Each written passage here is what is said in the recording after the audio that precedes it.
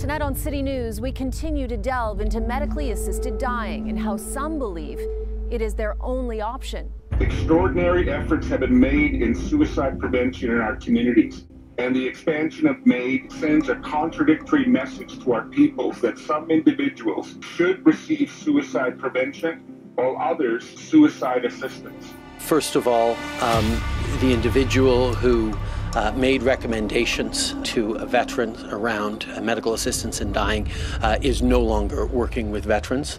Uh, that was absolutely unacceptable. She said, We can do this for you because I've done it before. After we completed MAID, after we killed him, we are now uh, have supports in place for his wife and his two children. This government is focused very much on respecting Canadians' rights, uh, defending uh, their choices, allowing them choices, while at the same time protecting the most vulnerable in society. This entire bill is a colossal, spectacular failure on the part of the government.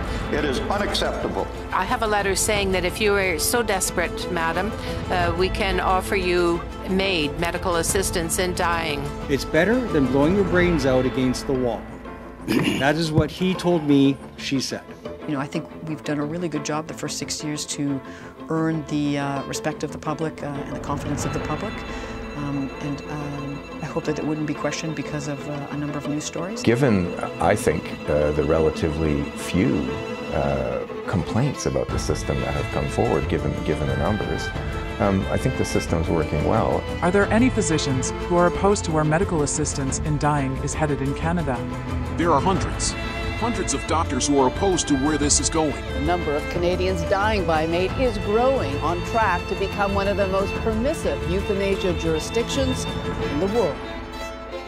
The fact that people are feeling compelled to apply for MAID or to, to even ask about MAID because they can't get the basic fundamentals to live a life is it's shameful. As a country, as a, a government, we should be ashamed. I don't wish to be dead. I still want to be here.